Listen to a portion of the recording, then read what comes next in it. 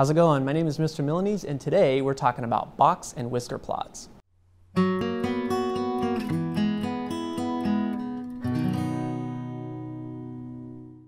Okay, so let's start off by just figuring out what is a box and whisker plot. Well, a box and whisker plot is a way to display your data and to show how either how spread out it is or how tightly compacted it is. So if you're wanting, if you have uh, data that's kind of all over the place, a box and whisker plot is a really good way to represent where your information is at. So let's take a look at our data. Uh, let's just say that we surveyed nine high school seniors and we asked them uh, how many breakups they have had throughout their four years of high school. And let's pretend like these are the results. Um, so the first person had four breakups, the next person had six breakups, the next person had one breakup, no breakups, and so on.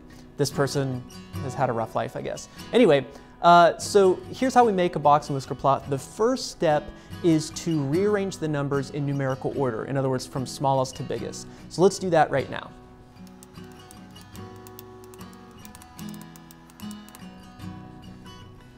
Okay, so now that we have the numbers in order from smallest to biggest, uh, the next step is to find out your five important values.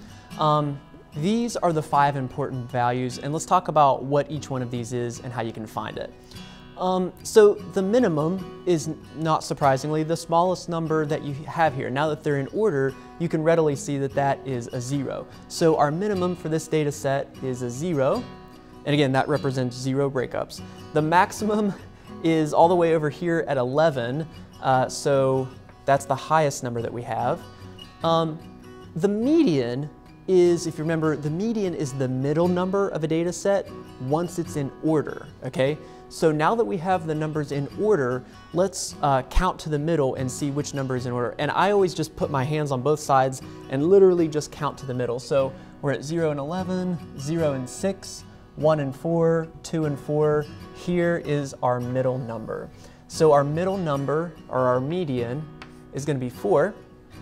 Now, what about quartile 1 and quartile 3? What does this mean? Well, uh, if we exclude the median, so for this next part we're not going to count the median, and we just look at the first part of the data, quartile 1 is the middle or the median of the first half of your data.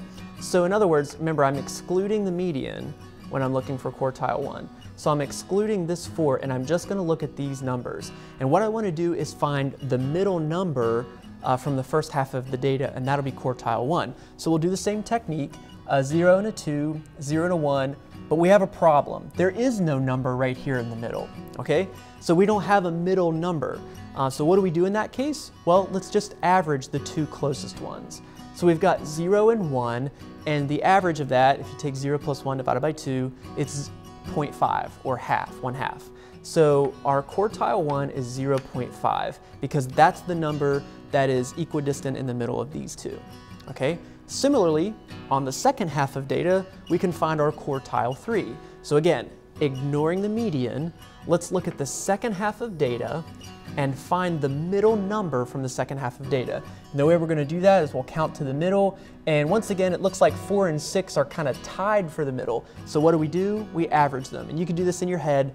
The number immediately in between 4 and 6 is, of course, 5. So 5 is the average of those two numbers. And now we have the five important numbers that make a box and whisker plot. Now, if you're looking at this, and you see quartile 1 and quartile 3 and you're wondering what happened to quartile 2, well, sometimes the median is referred to as quartile 2. Uh, similarly, the minimum and the maximum sometimes are called the lower extreme and the upper extreme. It's different ways to say the same thing. Okay, now we're ready to make the box and whisker plot. Uh, as you can see, I've already got a number line here, and all I'm going to do is make a dot above the number line in each one of these positions. So let's do that first. We're going to have a dot, uh, it, again this is floating above the line at 0. I need one at 0.5 so we're going to have to estimate that would be right around in here. I need one at 4 which is right here. I need one at 5 should be right here. And then I need one all the way at 11. Okay, so now that we've got our numbers floating, it's time to actually draw the box and whiskers, okay?